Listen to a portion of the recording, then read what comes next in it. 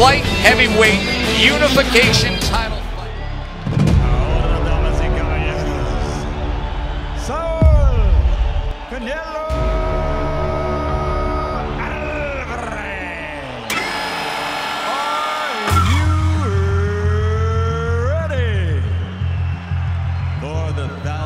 in attendance and the millions watching around the world? Ladies and gentlemen, uh, let's get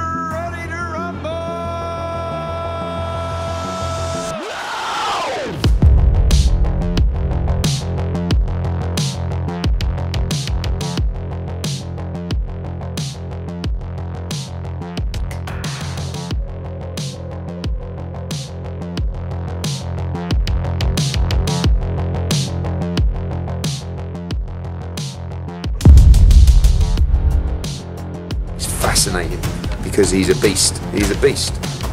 You know, you imagine that you could cut him and he wouldn't bleed.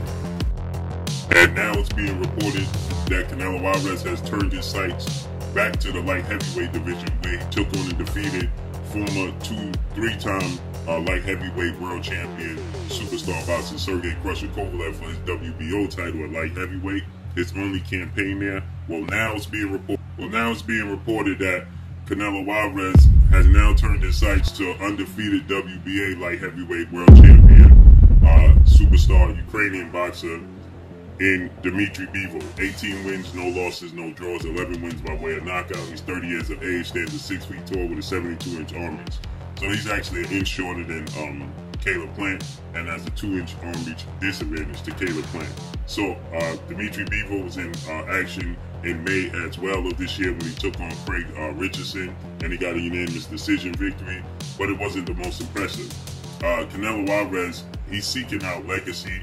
Uh, he's seeking out to do uh, historic numbers and uh, do uh, historic events, okay, for his legacy moving forward. It's, it's being reported that Canelo Alvarez is uh, finalizing or looking to finalize a deal to fight Dimitri Bivol September 18th. Canelo Alvarez, he wants that Mexican Independence Day weekend date, okay? Uh, that's the two holidays in which he fights on. Cinco de Mayo weekend uh, in May and uh, uh, Mexican Independence Day weekend in September. Those are his two major dates that he loves to compete on. And then every, every now and then you'll get Canelo compete in December and in uh, February. You know, around those two, around those four months. Okay, uh, so he doesn't want to let this date slip away. Uh, he knows that at this point in time, Dimitri Bivol uh, is going to rec- recognize and realize he's the clear B side. Uh, he's not going to put up much of you know uh, issue as far as negotiations goes. Dimitri Bivol, he fights on DAZN. He's with Matchroom, Matchroom CEO and promoter Eddie Hearn. Eddie Hearn, he confirmed that Dimitri Bivol is in the lead for the Canelo Alvarez fight. Now that gives uh, Dimitri Bivol, if they get a deal done this week, that gives Dimitri Bivol seven weeks to prepare. Dimitri Bivol is not a guy who's not in shape. He's, he seems to be in shape year round. He seems to be, you know, uh, focused and dedicated to the sport of boxing. So I don't think that Dimitri Bivol has to get in shape. He fights at light heavyweight. Uh, Canelo Alvarez, he would have to prepare himself to go to light heavyweight with seven pounds north. So it's not like he have to lose weight or uh, have to make weight. So he don't- he's not gonna have to worry about losing weight or you know um, uh, cutting weight and things of that nature because he's going north. Okay, uh, this is a very winnable fight for Canelo Alvarez, in my opinion. Uh, you know, there's talks of him wanting to fight Arthur Beterbiev as well. You know, Arthur Beterbiev, he holds the IBF and the WBC at light heavyweight. He's also undefeated.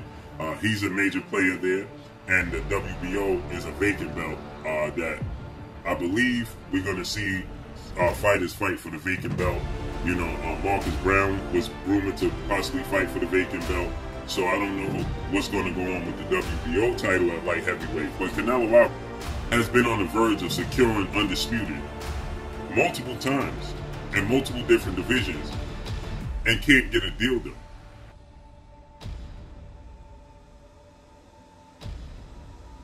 Canelo Alvarez, he stated that he wanted to be the first Mexican-born fighter to become undisputed at middleweight, and he had the opportunity after he beat Triple G. He had all three belts and the Ring Magazine belt. There was one fight away. All he had to do was fight uh, uh, now reigning WBO champion, two division world champion, undefeated, Demetrius Boo Andrade, and it would have been, should he be victorious, he would have been undisputed at middleweight. He opted not to do that as well. Then he had his WBC mandatory challenger in Jermall Charlo, another undefeated fighter, two division world champion, who was his mandatory. He opted to be franchise champion. So those are two major fights he left on the table at middleweight at 160. He definitely could have fought against uh, Dimitri B, um, Demetrius Andrade for undisputed. So he had the opportunity to become undisputed one fight away, and he opted not to take the fight. Then, now he moved to 168. And then you look at when he fought and beat Sergey Kovalev. You had Artur Beterbiev, who was campaigning for a fight, and Dimitri Bivol, who would have loved to have a fight with Canelo Alvarez. That's two fights after he beat Sergey Kovalev he could have had at light heavyweight to become undisputed. So in three different weight classes, he's only one or two fights away from becoming undisputed. And him being a cash cow, him being the quote unquote one of the faces of the sport of boxing, top three faces of the sport of boxing, it's easy for him to make. After he beat Sergey Kovalev, if he would have fought fought and beat Dmitry Bivol, he would be a three belt holder and a ring magazine holder and only need to fight, no, excuse me, Artur Beterbiev and would have only needed to fight Dmitry Bivol. Easy fight to make, right?